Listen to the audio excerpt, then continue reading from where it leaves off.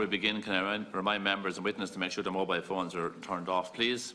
Uh, we're here today to discuss, like, the welcome from the Department of Agriculture, Food and Marine, Dr. Cecil Beamish, Assistant Secretary General, Ms. Josephine Kelly, Principal Officer, Mr. Colin O'Sullivan, Assistant Principal, and thank you for coming before the committee today to discuss uh, the scrutiny view as proposals relating to COM 219 uh, 48 and COM 219 49. Uh, COM 21948 has proposed regulation of European Parliament and of the Council amending Regulation EU number 508 of 2014 as regards certain rules relating to the European Maritime and Fisheries Fund by reason of the withdrawal of the United Kingdom from the Union and uh, COM 1949 is proposed regulation of European Parliament, the Council amending Regulation EU 217-2403 as regards fishing authorisations for the Union fishing vessels in the United Kingdom waters and fishing opportunities operations sorry, of United Kingdom fishing vessels in Union, Union waters. Uh, before I begin, I want to bring your attention to the issue of privilege. Uh, witnesses are protected by absolute privilege in respect of evidence you are to give to the committee. However, if you are directed by the committee to cease giving evidence in relation to a particular matter and you continue to do so, you are entitled thereafter to qualify privilege in respect of your evidence. You are directed that only evidence connected with the subject matter of these proceedings be given and you are asked to respect the parliamentary practice to the effect that where possible, you should not criticise or make charges against any person mentioned by name as to make him or her identifiable.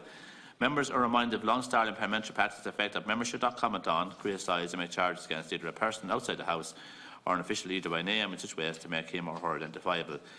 Uh, Dr Beamish, I understand now you're going to uh, give us a briefing on the issue so far as we requested last week. Thank you. Thank you very much, Chairman, um, and thanks for the opportunity to address the committee to discuss the recent proposals from the European Commission with regard to fisheries uh, which is a sector of the economy that's uniquely exposed to the negative implications of a no-deal or disorderly Brexit. Under the transition period as set down in the withdrawal agreement agreed between the UK Government and the EU, there would be no change to the current situation of fishing during the transition period up to the end of uh, 2020. Uh, the Government's position is that it hopes that a no-deal scenario can still be avoided and that the withdrawal agreement uh, can be concluded with the United Kingdom. But it must also be prepared for all possibilities. On the 30th of March 2019, if the UK leaves the European Union without agreement, it also automatically leaves the Common Fisheries Policy, or the CFP as we know it. The UK will then become a third country or coastal state in its own right under the United Nations Convention on the Law of the Sea, UNCLOS. The UK would, if it so choose, chose, be able to immediately close its waters to the EU vessels. This would mean that the status quo in which Irish vessels can freely fish in many areas of the United Kingdom's exclusive economic zone, their EEZ, and vice versa, could be altered immediately. On the issue of access to waters, there has been no clear, unequivocal message from the United Kingdom Government. Secretary of State Gove made a remark last October that could be interpreted as meaning that the status quo on both access and quota would continue for 2019, even in the event of a no-deal Brexit. However, much has changed since October. The UK Government's guidance note on the fisheries sector and preparing for EU exit, published on the 1st of March 2019, says that access to waters will change if the UK leaves the EU without a deal, and that non-UK vessels will no longer have the automatic right to fish in UK waters. While the position on access is not clear, the possibility that all EU vessels, and hence all Irish vessels, would be excluded from the UK zone in the event of a no-deal Brexit is certainly one possible scenario. In the context of that, that, possible scenario, the Commission has put forward two separate technical proposals relating to fisheries. Under the European Maritime and Fisheries Fund, it is possible, under certain limited circumstances at present, to provide temporary financial aid to vessels for the cessation of fishing activities for a period of time. The purpose of the Commission proposal uh, is to amend the EU regulation for the European Maritime and Fisheries Fund, the EMFF, to widen those circumstances to cover vessels that would be significantly impacted due to their exclusion from UK waters. There are limits on, to how much fishing effort could be redirected from the UK waters to EU waters for many reasons, including the sustainability of fish stocks and the cost effectiveness of vessels and the quality of catches. the aid under the EMFF would be available for a maximum of nine months over the period to the end of 2020. The EU Commission position is that the funds would have to be with, found from within the existing Member States' EMFF envelope. This loosening of the rules around temporary cessation of financial aid is a limited measure that, while welcome in the event that it might have to be availed of, would not address all of the issues that would arise from loss of access to UK waters. Perhaps most importantly, it provides the legal framework in which to provide possible tie-up aid to fishing vessels affected. Minister Creed has made it clear that in the event that a tie-up measure is required, it will be essential to ensure a coordinated and balanced application of a scheme to individual fisheries across the fleets of the Member States involved. Ireland is working closely and intensively with the other Member States most concerned and with the European Commission's DG Mare to identify the potential impacts for fishing that would arise from displacement of fishing activity in the event of no-deal Brexit and loss of access. The second proposal from the European Commission is similarly about ensuring that there is a legal basis to allow EU vessels to operate in the waters of a third country in the absence of a formal agreement between the EU and that third country. That second proposal also provides for the possibility of current quota swapping arrangements between EU member states and the UK to continue in the absence of an agreement. This proposal does not mean that there will be ongoing reciprocal access after March 29th. It merely provides the legal basis for it to happen should the UK be willing to grant such reciprocal access in a no-deal situation. Um, in relation to the timing on adoption of these two proposals, the two proposals are proceeding on a fast-track procedure through the Council and the European Parliament. A plenary EU Parliament vote is scheduled for the 13th of March and is expected that the Council's final endorsement will happen around the 18th or 19th of March so that they are legally in place before the 29th. Um, the impact of the loss of access uh, for the Irish fleet is a critical issue. Uh, Ireland, France, Denmark, Germany, Belgium and the Netherlands all take on average between 30 and 45 per cent of their landings by volume and 18.5% and 50% by value from UK waters. Of the UK's total landings, only 15% by volume are caught outside the UK EEZ. On average, 34% of Irish landings by volume and value came from inside the UK EEZ. Ireland catches a proportion of all our main commercial quotas, that's 30 plus stocks, in UK waters. And in some cases, such as mackerel, which is our largest fishery, well over 60% of the quota is taken from UK waters. The most immediate impact of loss of access would be for our whitefish and prawn fisheries. This is because our pelagic fisheries, in particular mackerel, would not be immediately affected um, in 2019, as our fleet has largely caught the available quota in the early part of the year. This situation of concentration of fishing in a small period could have adverse impacts, though, on our processing companies later on. Irish vessels, uh, in the event of, of, being excluded from UK waters, Irish vessels would lose access to parts of the important nephrops or prawn grounds in the Irish Sea and in the important smalls grounds situated off Milford Haven. It would also lose access to parts of the Celtic Sea that come within the UK zone, with important fishing grounds there for mixed demersal species such as cod, haddock, whiting, monkfish, megrim and hake. It would fully lose access to the fishing grounds around Rockall off the west coast of Scotland. A major knock-on effect of loss of access by Irish and other Union vessels in the event of a disorderly Brexit is the likely increase in activity in the fishing grounds in the waters around Ireland. The concern here is an increase in pressure on fish stocks, in particular fishing grounds, leading to an increase in fish mortality on those grounds. This in turn could threaten the, long-term sustainability of those stocks, resulting in lower quotas going forward. It is in that context that temporary tie-up of vessels may be required to protect the long-term sustainability of the stocks upon which our fleets rely. Minister Creed has made it clear that if there has to be any temporary cessation, its use must be proportionate across the EU fleets fishing in these shared fisheries. It cannot be the case that in shared fisheries, the vessels of one member state are tied up, while the vessels of another continue to fish without uh, restriction. The Minister has made clear that there must be a level playing field for all those impacted by loss of access to UK waters. In relation to preparedness, um, the Irish response is and will continue to be within the overall EU 27 context, and in particular the group of eight member states directly impacted for fisheries.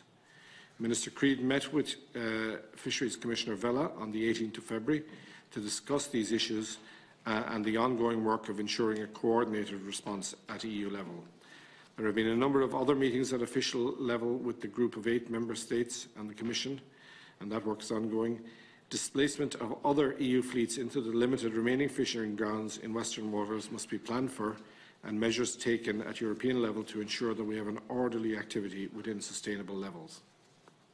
Those meetings between the group of eight member states and the Commission are focused on ensuring that there will be an EU coordination mechanism on the actual application of any temporary cessation.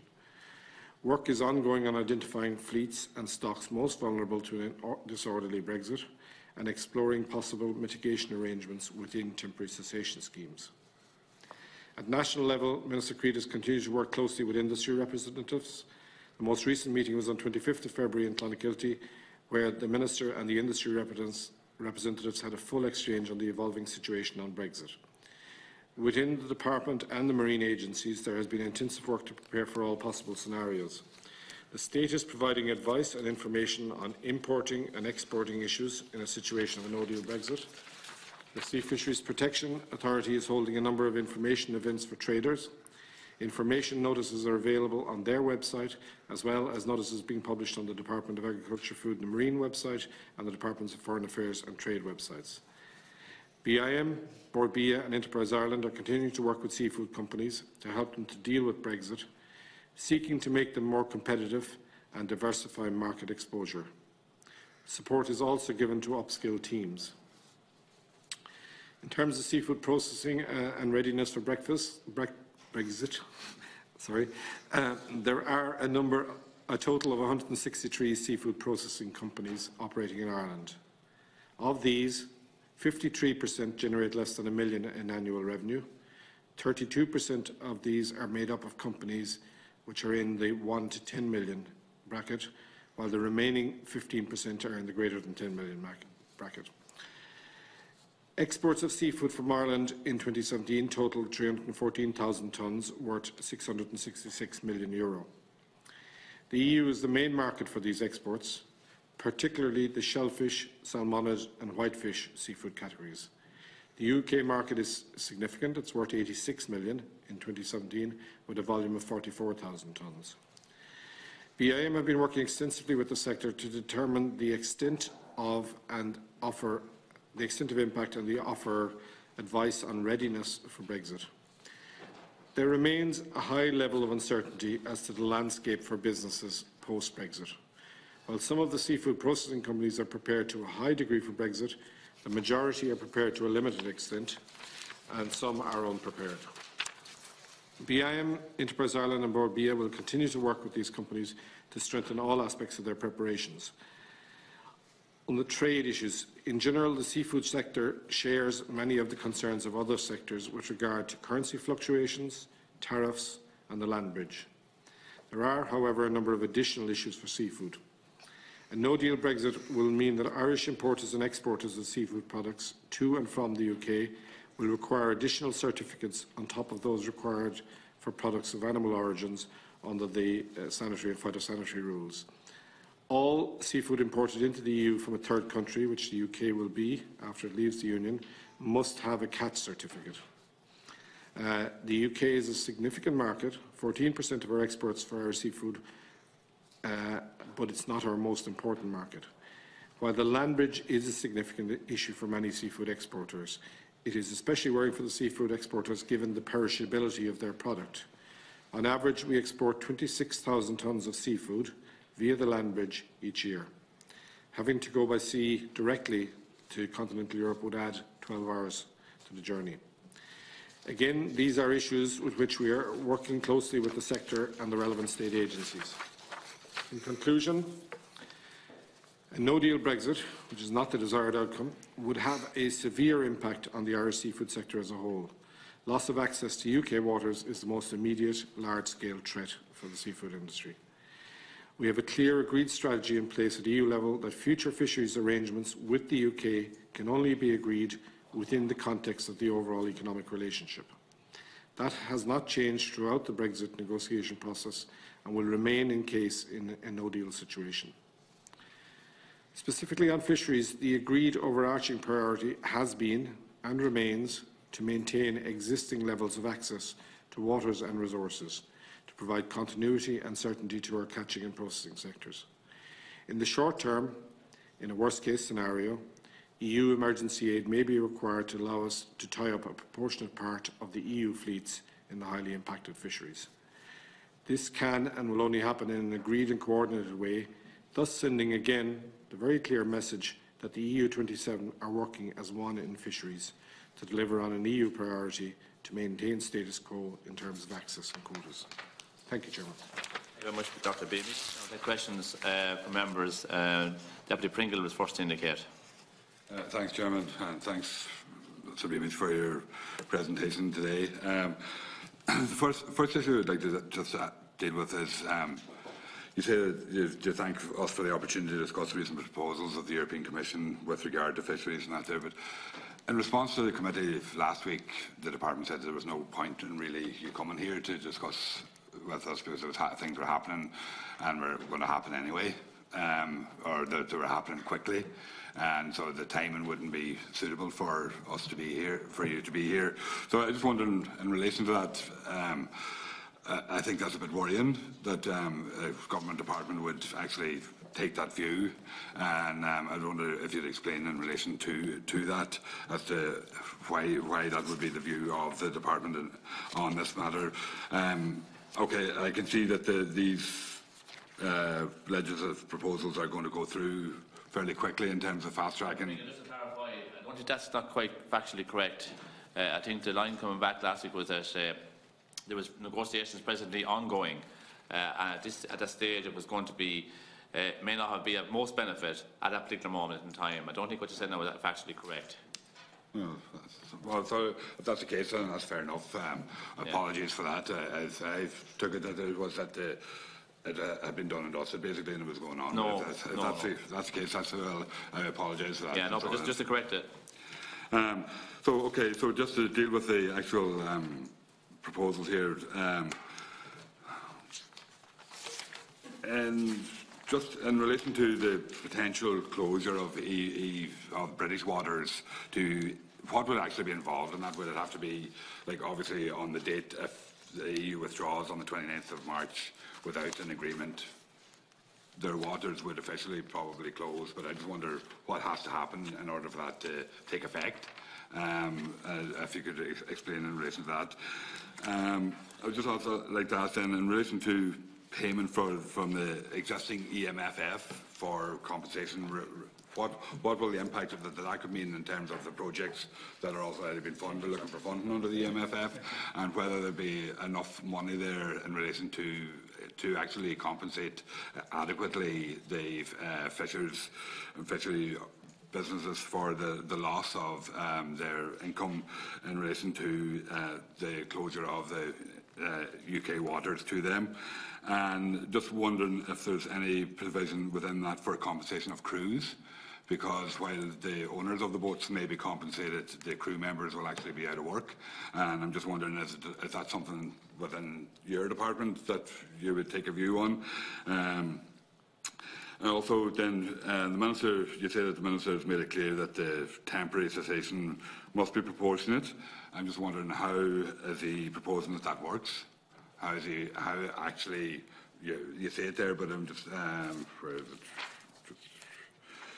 Uh, Minister Creed has made it clear that there, there's a temporary cessation that must use a proportionate across the EU fleets. I'm just wondering what the me mechanism is that's going to work and what actually that will mean in, uh, in effect.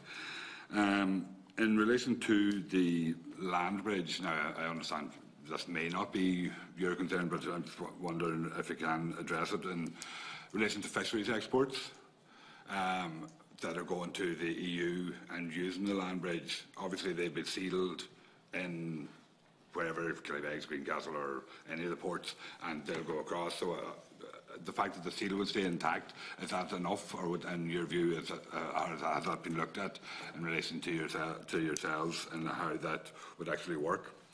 Um, I'm just wondering if you have any information on relation to the import tariffs that are applicable to seafood, uh, and do you have those in the, the UK? So while uh, 14% of exports would be impacted, what actually would be the, the level of impact from, from those stocks?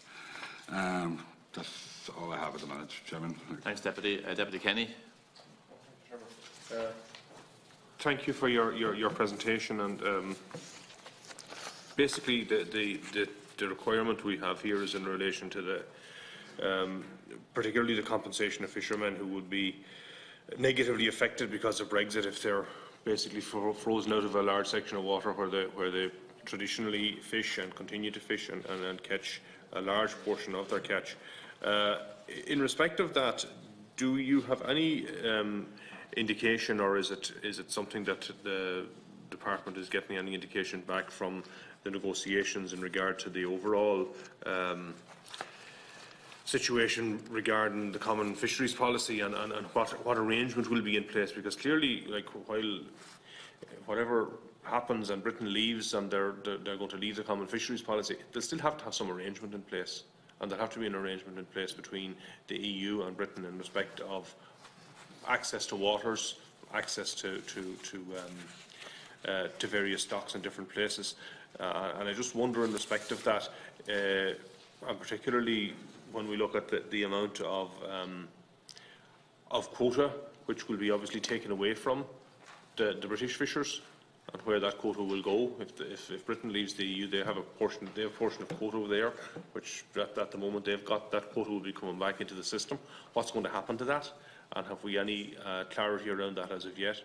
Uh, I'd also be interested in, in, in regard to the tariffs and the tariff rates which will be in place, and if there's any indication as to how, how long um, or what what deal can be done around that. Um, also, the other the other um, section in, in regard to the, the compensation for for um, for fishermen who would lose out in respect of that. Um, if, if Irish fishermen are going to lose out and, and the vessels are tied up for a period of time because they can't obviously catch, uh, will, the, will it mean that there will be, uh, one of the consequences of it, that there will be extra competition within what will be the now diminished or, or, or, or smaller EU waters as a consequence of, of Brexit? And uh, what measures or what new arrangements is possible? Is it possible to go back to the, to the common fisheries policy and look to see what kind of, of new negotiation can happen there? Because, for instance, we have, the, as we know, I think it was last November, the, the, the total allowable catch was set out for this coming year. And before the end of this year, we could be in a situation where Brexit throws all that up in the air. Is there going to be a, a, a new negotiation, sit down again and work it all out again, or, or what is the what is the proposal in respect of that? Thank you, Chairman. Deputy. Uh, Deputy McConalogue, please. Um, thank you, Chairperson, thanks to the officials for coming in today. Um, in relation to, just to, if you can give us some further clarity in relation to the carve-up of quota between what uh, UK registered vessels would have at the moment um, and other uh, EU member states, um, what exactly happens there? So, I mean, if there's a hard Brexit and the uh, UK are not willing to do a reciprocal deal uh, in terms of access to um, stocks and access to water, what exactly happens then in relation to the carve-up, or first of all, what exactly happens in relation to the, the quota that um, UK would have, and also what happens in relation to the quotas for various fish stocks that the, no, that the other EU member states have, um, and the process, the process around that. In relation to, um, in the scenario of a tie-up, um, which obviously is, would be massively um, massively disruptive um, and uh, uh, uh, expensive um, and see massive financial loss to the fish sector.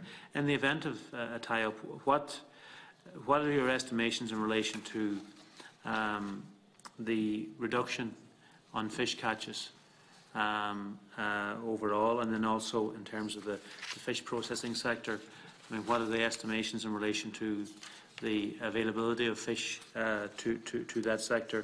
Um, similarly to what some previous speakers asked in relation to the, um, the funding under the uh, European Maritime and Fisheries Fund.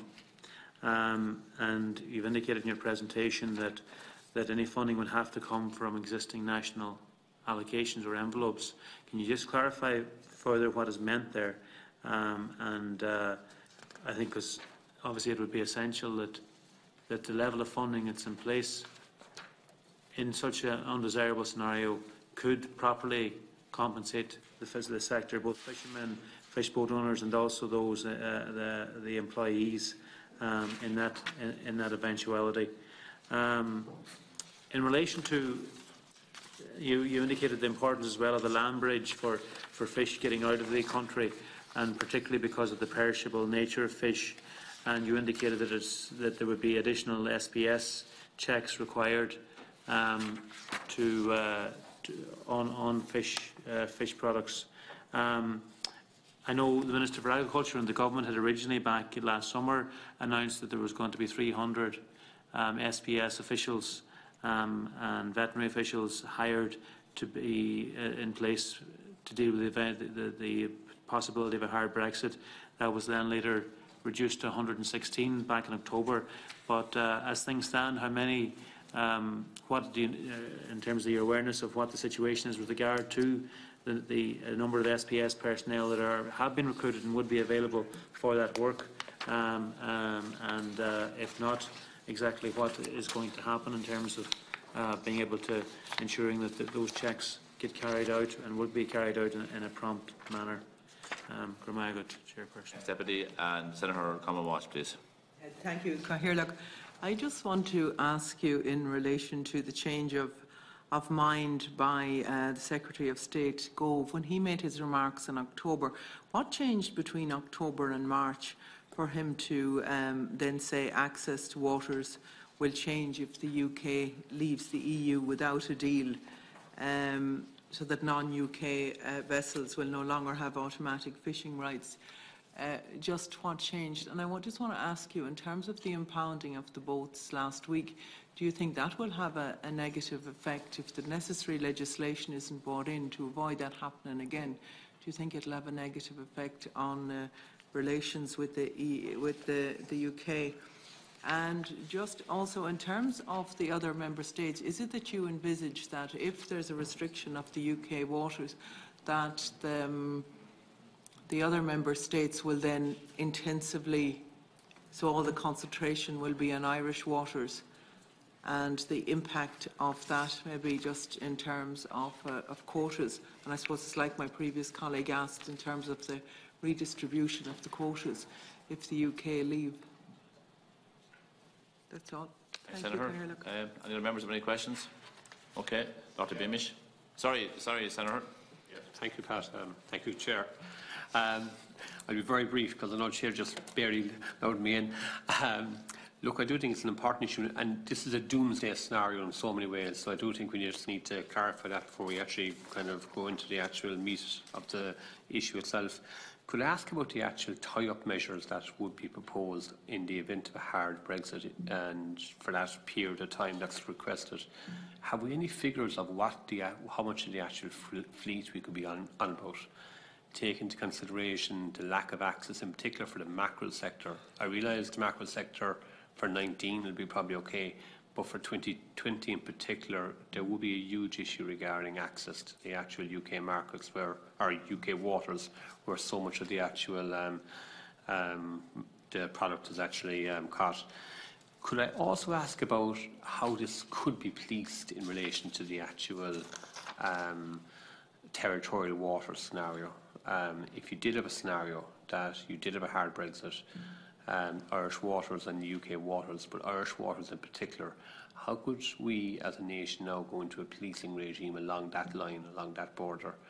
Um, it's a, quite an extensive border and it's amazing that you see it in a map how large it is.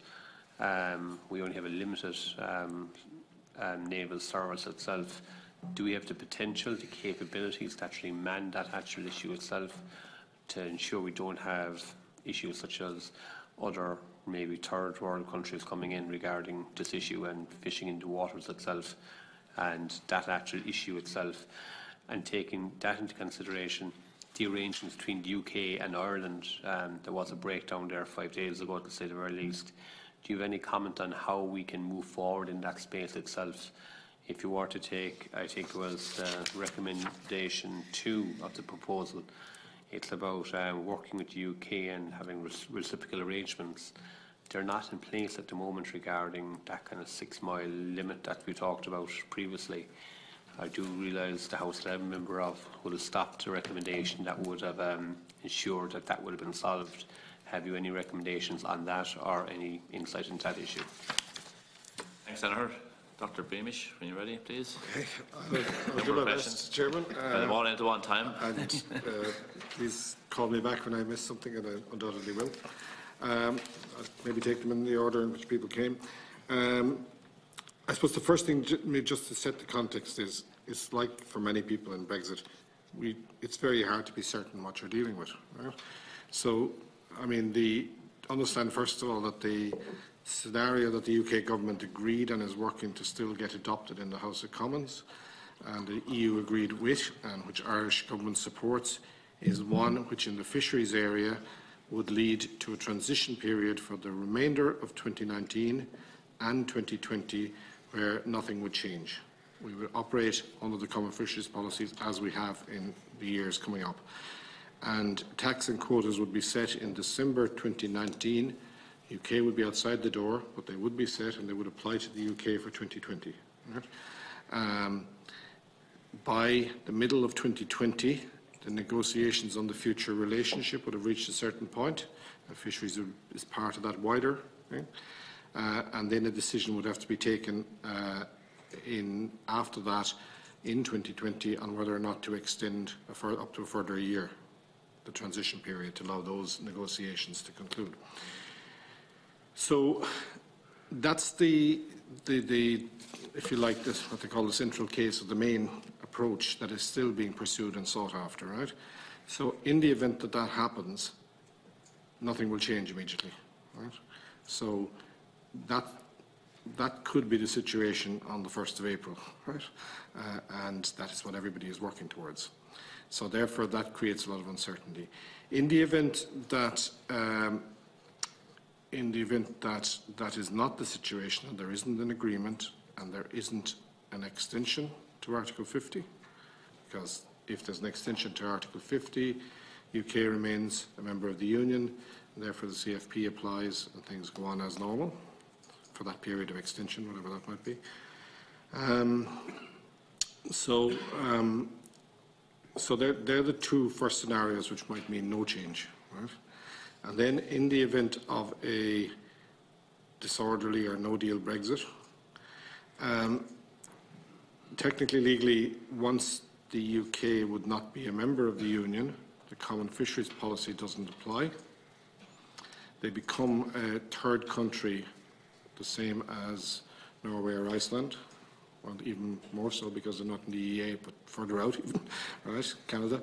Um, they become a third country, UK becomes a third country, uh, and therefore there is no automatic access for EU vessels to UK waters or UK vessels to EU waters. However, the geography doesn't change. The UK still needs to trade. It is likely that some form of discussion will be ongoing, and therefore, for how long and at what point would they decide to implement the prohibition on uh, access? Now, the second measure that we have in front of us here today, that, that you invited in on, which the Commission has made, was based on the possibility that the UK would offer reciprocal access for 2019 on the basis of the TACs and quotas that were agreed last December. So for the remainder of 2019, they would offer reciprocal access, and this second proposal that's in front of us here today creates, on the EU side, a legal framework whereby we could allow our vessels into the UK and UK vessels into us and manage everything. So while they would be technically outside the EU, this reciprocal access would be granted for 2019 and we would operate under the same TAC and quota regimes that we have now. So that's one possibility that can happen in a no-deal Brexit. right? And that's what that provision is, is there to enable in the event that that offer was made and agreed with the UK. So it's just 2019. So in that event, we wouldn't be needing temporary cessation and all that sort of thing to happen, right? Uh, So it also depends on the time period. Fisheries are, many fisheries are seasonal, or their particular locations are seasonal. So the mackerel fishery is wrapping up as we speak. They'll have caught hold of their thing. They are traditionally dependent on catching a very large proportion in the UK zone, west of Scotland, north of Scotland. Uh, but that will be caught. That, that's in the, in the factories at this stage, right?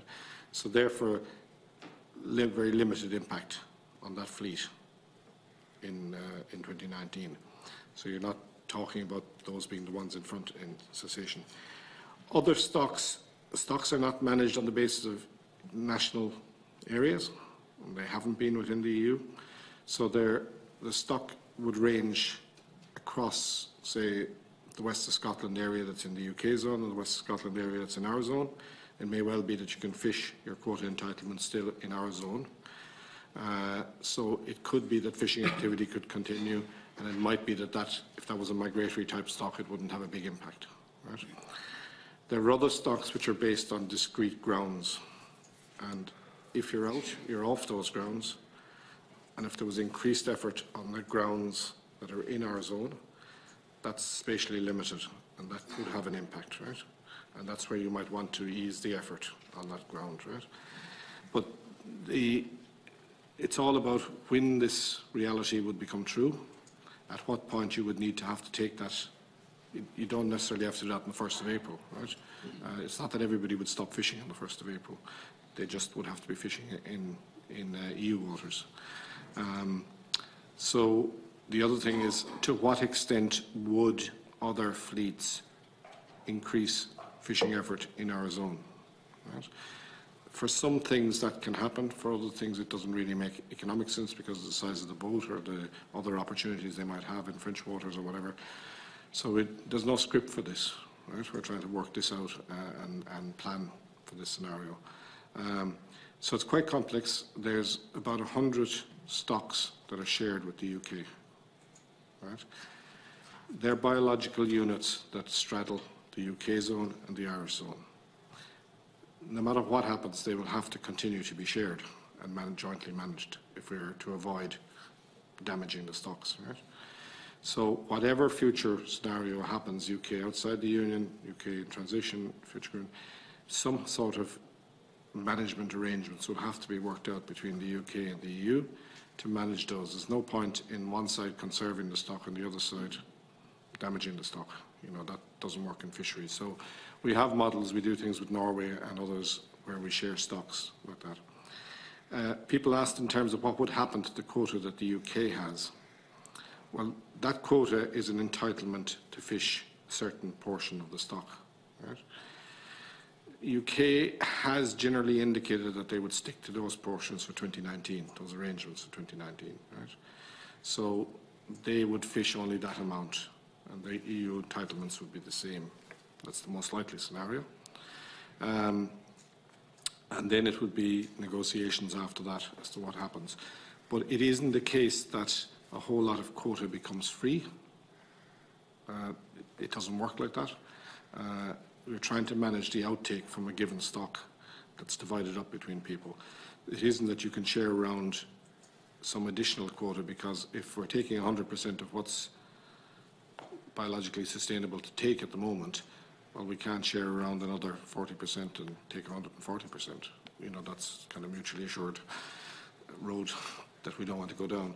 So, um, so in the short term, quota doesn't become available to anybody per se, right?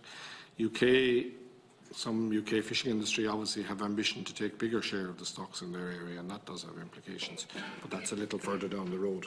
For 2019, the quota entitlements probably won't change. Um, so the issue then about um, access is that if the UK leaves the Union, leaves the common fisheries policy, there won't be automatic access, and that's what the UK is saying, right? That's just a fact. It doesn't mean that they won't decide, perhaps, to grant reciprocal access for, for 2019, or we don't know how long that situation of no access would exist. Um, it isn't that it isn't without its problems for the UK. They, they need to access the market and have relations, and there's a whole lot of things going on that, you know, impact their position as well. Um, so, so that's the general position. We're trying to deal with a variety of scenarios and prepare for a variety of scenarios, but there are a number of them which involve no change. Yeah. Go ahead, yeah, briefly, yeah. Um, If they were to grant access, say if the UK were to grant access, would they have to grant it to all of the EU countries, or could a separate arrangement be made for, for Ireland, or would it have to be for the other nine? The, the legal position in the European Union is that the European Commission negotiates with third countries. So if the UK is a third country, the European Commission will reach a European agreement with that third country. There won't be bilateral Right, deals. Um, and that has generally been seen by the Irish government as very much in Ireland's interest because it keeps the fisheries issues linked from across member states and that we have a lot of common issues. Okay. You know, maybe in different places, but the issues are common. But it also is linked to the market and other issues that the UK may not be in as strong a position as it is on fisheries. Right? So um, if, if the UK leaves the Union, it's the Commission who will be doing the negotiation. Um, whatever negotiation happens. Question? Yeah, sorry. Could I just ask, like, I mean, how likely is it that the UK is going to have a reciprocal arrangement when basically 86% of their fish is caught within their waters, so that that they have nothing, we have nothing to give them as such? Yeah. No, so I, I I understand that you link it to, you've linked it to other arrangements, but how realistic is it that that would be the factor that will allow the EU to, or the UK to allow access? If the UK leads in disorderly Brexit, it isn't just in fisheries. You know, it's across all sectors. It's a whole variety of issues are going to be in play. And the EU is likely to take some sort of coordinated approach across those. Uh, the UK, in very simple terms, largely exports to the EU what it catches and imports what it eats. Uh, we're not terribly different to ourselves in many ways, right? But uh, so the EU market is very important to the UK. Uh, and keeping that market and that trade going is, feeds all the way down to the fishermen. Right? So it isn't something that you can do in isolation of your position in the market. And the EU would be quite conscious of, of that situation. Um, I think, Deputy, you asked about tariffs, right? Um, first of all, it's not the same as in the agri sector of, say, in beef or something like that, where you're very dependent on the UK market. Uh, Ireland isn't terribly dependent on the UK market in seafood. It is an important market, but it's not, doesn't have the same dominance as it would have in beef. Uh, and secondly, the tariffs on fishery products are much lower. So tariffs on fishery products apply the other way as well, in that the UK is exporting into the EU, and they would hit those tariff barriers in terms of their exports into the EU market. We would be exporting into the EU market without that tariff barrier. So there's a lot of ways you can look at that, right? In terms of the tariffs, I mean, uh, at the high end, you have something like mackerel and herring at 20%. Uh, the more common whitefish, around 7.5%. Um, average something like 14%, right? So they're, they're at the lower end of some of the tariff ranges you would have heard on the agri-food side, you know. Um, so the tariff, yeah, if it processed product attracts higher tariffs, uh, and the UK would sell quite a bit of processed product into the EU market. So that's something they would be dealing with. Um, the tariff element hasn't been as dominant at all in the fisheries discussion as it would be in the other areas, right? It's not about the market so much.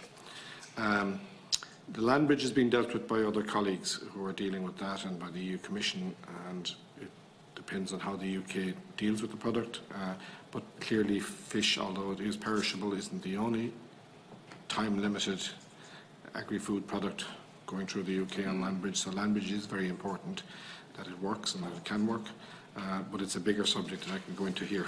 Um, the, um, the issue about temporary cessation being proportionate. Um, there's no script on this where, you know, Brexit is uh, uh, something new that we're going into, right? So what the Commission is doing in the proposal that's in front of us today is the Commission is creating a legal framework where temporary cessation can be used in circumstances that nobody foresaw when the Maritime and Fishery Fund was being drawn up. If they don't change it, if they don't change by virtue of this proposal, you could not use temporary cessation because a member state was leaving. Right? So it's creating the possibility to use it. Um, and uh, the, I think the question was raised about the crew. Uh, it does provide in the MFF that people who have worked more than 120 days during the last two calendar years are eligible under EMFF, right? For uh, payment under, the, under this. Um, the detail about this is, is that uh, the legal framework to enable it happen is what we're talking about today. Right? Uh, the detail would then have to be drawn up in a detailed scheme. That could only be done when you know exactly how much access you have, how much access you don't have, which fisheries are gone through, which fisheries are severely impacted. Right? Not all fishing is the same, and, and you know that very well. And uh, also, when you have a sense, a proper sense at European level of what the displacement impacts are likely to be.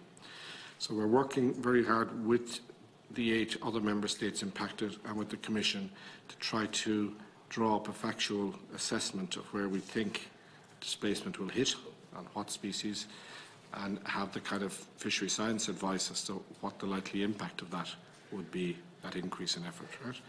Uh, as I say, if the stock is migratory, it may have no, no long-term biological impact if you increase the fishing in one particular area of the stock rather than another. You know?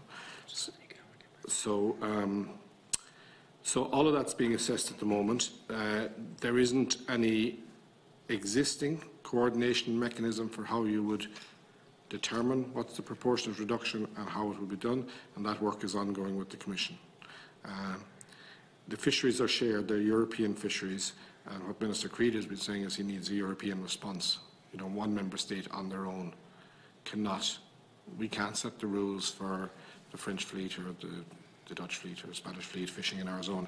It is a common policy, so we want a common response, right?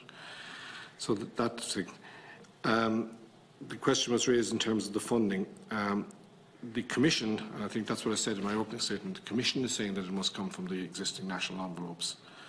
Uh, the existing national envelopes are already programmed and allocated out to different programs. We're working to spend our, our envelopes. Um, so we hadn't envisaged a, scheme for tie-up cessation. So uh, I think the issue of funding is going to have to be considered both at government level and at national and at EU level as to how, and that will happen, I think, later in the month as we get closer to whatever the reality might be. Um, so um, I think, uh, Deputy Kenny, you um, quoted taken away over that, that tariffs. Uh, in terms of what new arrangements would happen in the event that the UK was out and the UK was out permanently, um, there would have to be still negotiations on how to manage fisheries with the UK. It's just not possible to coexist in 100 shared fisheries without working out arrangements for how you manage those, right?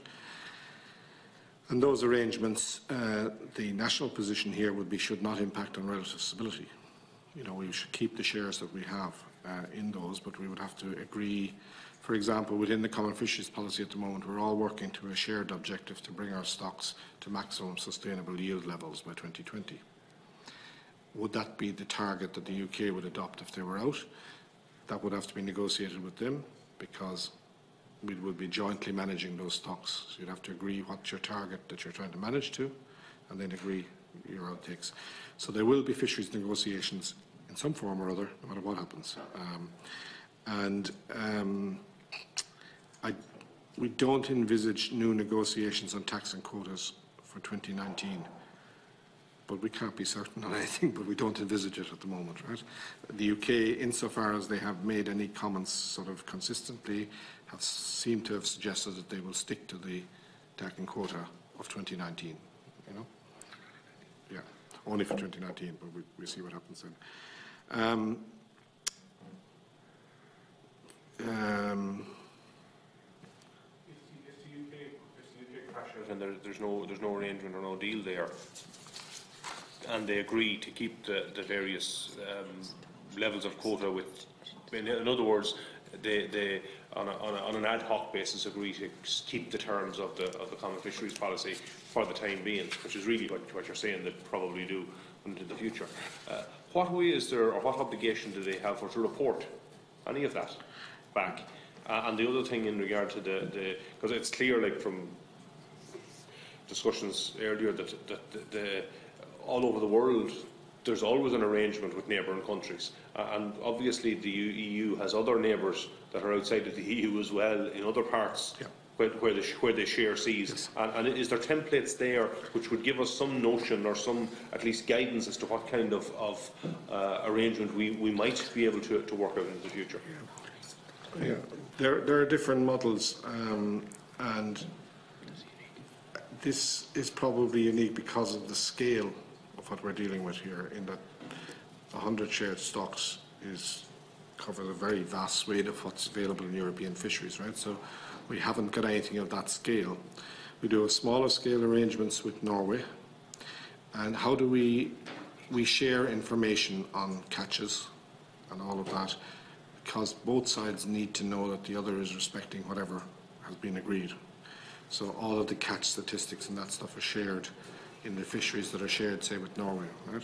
So you would envisage a scenario where UK and EU would still be sharing in, in an agreed arrangement, right? Not in a disorderly necessarily, in an agreed arrangement, would have to be able to share uh, information on catches, make sure that both sides were doing their controls, etc., etc. Right? You, you'd have to have joint confidence in the management arrangements you were agreeing to, right? Um, but none of that, nothing of that scale has been done up to now. So it would be quite a different landscape in terms of how you would do it. Right? And in many ways would probably supplant what is currently the December Fisheries Council because many of our stocks would be determined through whatever bilateral negotiation would happen with the UK. In regard to the, the, the export of, of fish, a lot, a lot of the fish that is caught, that the British vessels catch, basically they export. They, they, they're not, Yes. they're not, they're a bit like us, although they're, a, they're an island nation, they don't eat a lot of fish. And, and they export a lot of it. And from that point of view, if the main export market for them is clearly the EU and EU countries, and they will be, they'll be facing a tariff when they do that, whereas we won't. And the, the, you'd imagine that the, the, when they go to negotiate, they'll have to they'll have to bear all that in mind as well. So, is that the and I, I, you know people talk about the doomsday scenario, but I wonder when we actually get into it, and you actually sit down and you examine the whole lot, and that's one of the, the the sort of the big questions when you step back from it all and you look at how, much of a of a huge um, positive is this going to be for the British fishing industry, or they, they, they seem to think that, that Brexit is going to bring them a bonanza. I, I just wonder about that. When, when you step back from it and, look at the whole lot, is, is it possible that the British could find that you know their vessels may have access to more fish because that the the quotas won't apply, but when, they actually go to, to realise that they might be able to sell those fish, that it, it may not be any benefit at all. Well, again, it's hard to draw it down to one, one conclusion, but the 70% of UK seafood is exported to the EU. Um, if you're in a shellfish industry which is non-quota, and you're exporting to the EU. You will face tariffs, uh, and it's non-quota, so you don't get any benefit in quota, if you like. Uh, That's what's there. Uh, The perception would be that fishermen who are fishing on certain quota fisheries where they perceive the UK share is low relative to the fish they're in, they perceive they will get a benefit through increased quota. But you're correct, it's still sold largely into the EU. UK tends to import cod, salmon, tiger prawns, etc., for their domestic market, um, tuna, sorry, and, uh, um, and tends to export a lot of the other fish that are caught. Um, so, so it depends on what kind of fishery you're in as to whether you see a balance of advantage to you or a balance of disadvantage. But of course, fisheries is a zero-sum game. If somebody gets a bigger share, somebody else gets a smaller share. We're very conscious of that from the Irish perspective. Um, um, the EU, our, our position would be, and the EU position to date has been that the EU, in any future negotiations with the EU, would negotiate on the basis of the current uh, access and quota sharing arrangements. That the national position here and the EU position has been that the UK leaves it what it has. Uh, it retains it, and if that is access into EU for certain fisheries and EU has access into the UK for certain fisheries, that that's what the UK leaves with. Now, it isn't necessarily the perception, as you say, in the UK industry. Right? Um, but all of that is in into the future, into future negotiations. Uh, so no matter what happens here, there's going to be fisheries negotiations you have to anticipate over the reasonably long period coming forward that are going to be very important for the fishing industry here will be conducted through the EU central negotiation, uh, in, much like uh, Michel Barnier has done so far in, in this. Um, has a... member states Whenever, whenever work and, and feed into that process. It isn't that they're removed for it. You know. Uh, sorry, Deputy. Sorry, just go back, oh, just uh, two things. Um, you talk about the, the compensation arrangements if you're working over 100 days in the fishing industry. Would that include fish factory workers as well? Um, I just wonder, wonder in relation to that because, I mean, obviously in Killybegs would be severely impacted on the loss of, of mackerel if it, if it was, if it happened. You know, so that would be very interesting to see how that, that could, they could benefit from that. Um, and also just, I mean, you talk, I mean, it's EU waters you talk about, and you talk about the, uh, there is no, there, basically outside the 16 mile, or the 12 mile limit, there isn't any Irish waters, it's UK waters, in the context of, the, of what we're talking about here, really, as, as such, and you're working on the basis of a UK basis, really, isn't that how you work it? E- Each member state uh, has a 200 mile zone. Uh, and what's being talked about here is UK zone out to 200 miles, losing access to that. It's one of the potential scenarios, right? Um, so it isn't, some countries have access in the 6 to 12, uh, or in some cases, in some areas, inside 6, but this is about out to 200. Yeah, but where's the Irish zone? 200 miles as well, out, we're in Irish zone. I- I've heard you before talk about that, that there is no Irish zone that is European. The, fishery- yeah, uh, okay, yeah, but this is kind of a philosophical conversation. Uh, legally, under the common fisheries policy, the, the waters are deemed Euro- European waters. Um, I know everybody always refers to as Irish waters, that's the way we do. And our responsibilities are for control and management in that 200 mile zone, which is managed under uh, EU common fisheries policy. So it's a complex debate you could have. But the UK would not be subject to the CFP. No, no, That's the point. So they yeah. will, they will manage their own zone, as they say. Um, the, the details of what temporary cessation, who might apply to all of that, has to be determined because we don't know what we're, to what extent there's cessation, what is impacted, what is displaced, what can't be caught here. All that work is going on behind the scene, uh, and if required. Uh, but it won't happen on day one, you know. Um, the focus here is on the um, vessels uh, and the uh, impact on the vessels and the impact on the crewmen uh, is what the EMFF is focused on.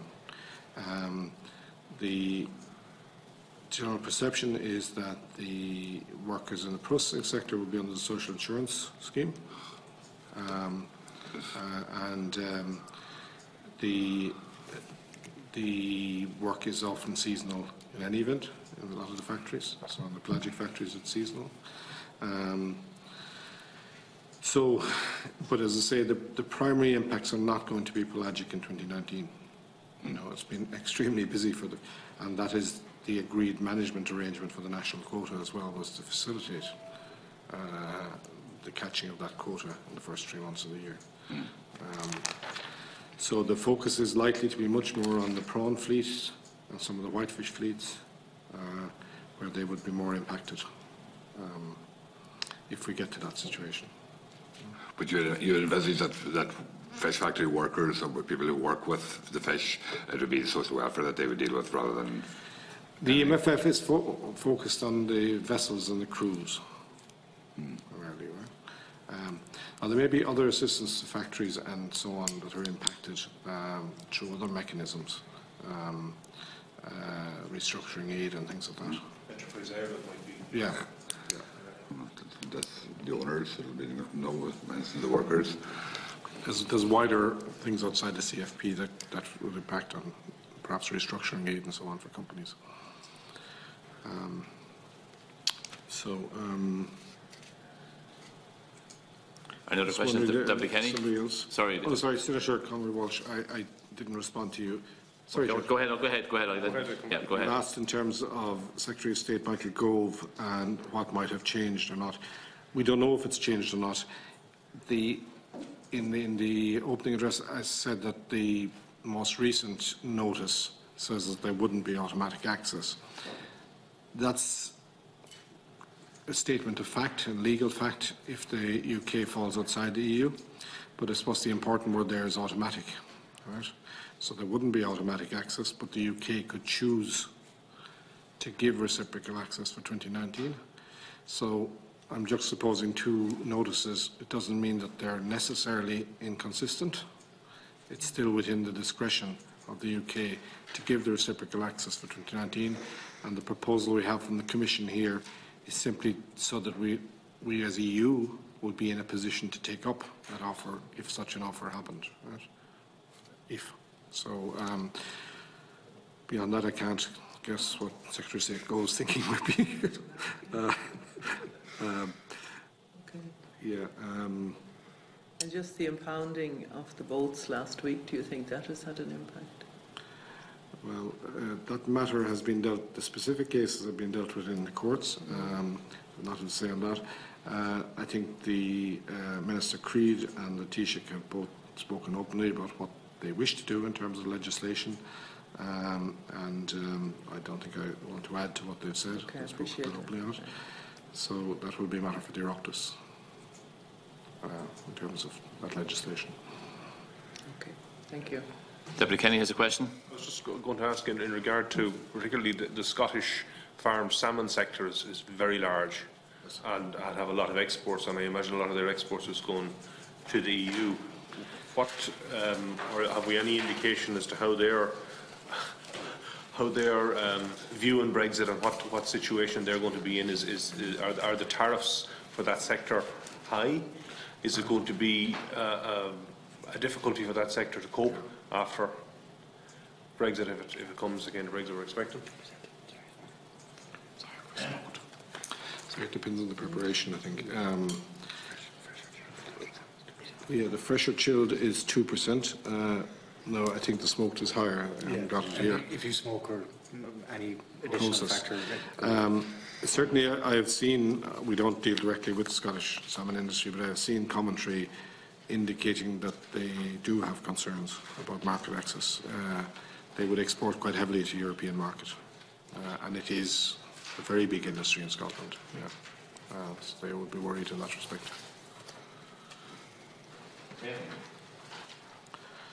I think you've covered all. We're all happy? Dr. Beamish, thank you very much for coming in before today and give us a very detailed explanation of why it's a very technical and uncertain issue at the moment. I'm sure we'll probably be dealing with this at some time in the very near future again. But thank you very much for coming before us today. As there is no further business, the meeting stands adjourned until next Tuesday, the 12th of March at 3:30 p.m. Thank you very much. Thank you, Chairman. Thank you, members. Okay.